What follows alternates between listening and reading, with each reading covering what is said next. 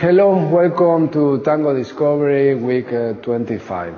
Uh, this exercise is uh, the same exercise you've been doing in um, Tango 100% improvisation, but now we're going to start to do it on uh, Tango awareness, which means no hands, no grabbing, so you can start to have better and much control about how, uh, how important it is to gesture what you want with your partner. And in this case, uh, Tamara uh, is going to show up how well can she read, let's say, what I want to express. So at the beginning, relax because you're going to do all the possible mistakes until you start to understand uh, each other a little better.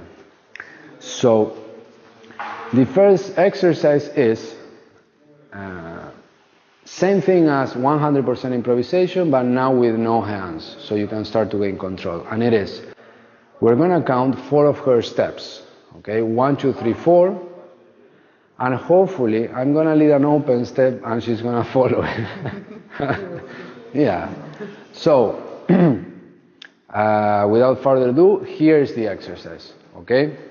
So, it is one, two, three, four, open step. One, two, three, four, open step. One, two, three, four, open step. One, two, three, four, open step. One, two, three, four, open step. Yeah? Simple enough.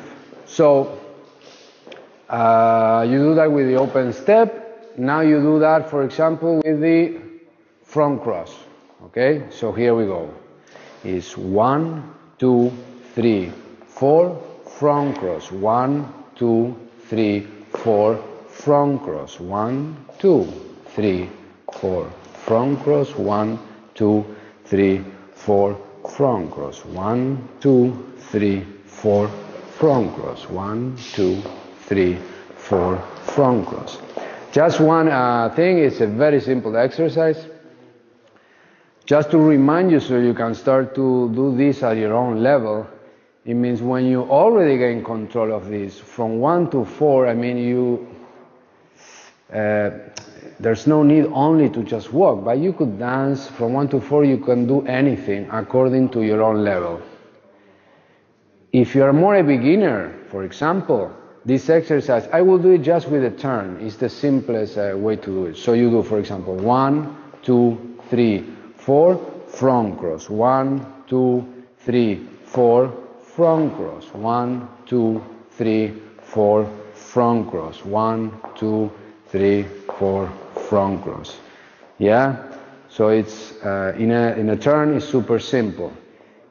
If you are a little bit more advanced, you know, walk. One, two, three, four, front cross. One, two, three, four, front cross. If you are more advanced, it's one, two, three, four, front cross. One, two, three, four, front cross. One, two, three, four, front cross. One, two, three, four, front cross. One, two, three, four, front cross. One, two, three, four, front cross. One, two, three, four, front cross. Yeah? So get as wild as you can. Relax with the mistakes. It's fine. For example, right now, I was taking her a little bit ahead of time of what she can respond to. Right? Cool. You know, that's cool. Test your limits until you start to make mistakes. If there are too many mistakes, then you back up a little bit and you slow down. so the point is, you don't do it so slow that is boring to you. you get it? uh, and you don't do it so fast that you get frustrated uh, by the exercise. But rather you keep, you know, a general level of where you can pay attention to it and you can drive it through. And of course, the, you know, test each other uh, with speed. So the last one I'm going to show you, obviously, is going to be one, two, three, four, uh, back cross. And I'm going to show it to you in an intermediate level so it's easy to see. So it's one, two, three, four, back cross, one, two, three, four, back cross, one, two, three, four, back cross, one, two, three, four, back cross, one, two, three, four, back cross. Perfect. Yeah?